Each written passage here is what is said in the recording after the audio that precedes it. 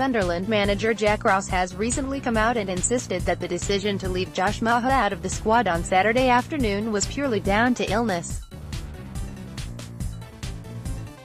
The 20-year-old's future in the Northeast is in doubt, with reports recently claiming that the prolific forward has rejected a contract extension at the Stadium of Light, with his current deal expiring at the end of the campaign. But is Sunderland prepared for their biggest game of the campaign at the weekend against automatic promotion rivals Luton Town? The decision to leave Maja out caused a huge amount of speculation.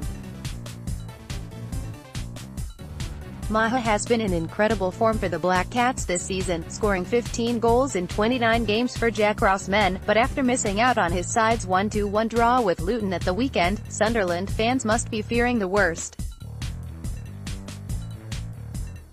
Here, we take a look at Sunderland fans' reactions to this significant decision. I really don't understand why Maja isn't in the squad today.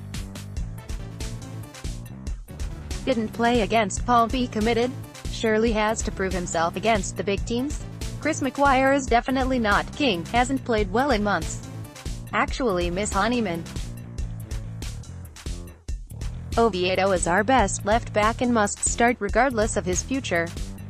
When he doesn't sign a new deal yos can all blame yourselves for getting on his back take it Stewart Donald 3 advice and get behind the lad. Good luck Josh pic.twitter.com slash IPR7LTechUp, SAFC.